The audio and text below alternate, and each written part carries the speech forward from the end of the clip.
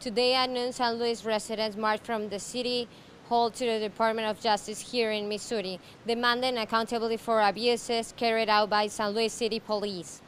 This protest was organized by the new coalition called HandsUpUnited.org.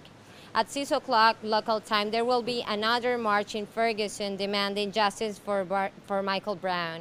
In the coming weeks and months, groups from Missouri and also from other parts of the United States will be coordinating to organize a mass demonstration in Ferguson when the grand jury releases their decision as to whether Officer Darren Wilson will be prosecuted. We will continue to inform you of further developments in the case. Francesca Emanuele, San Luis, Missouri, Telesur.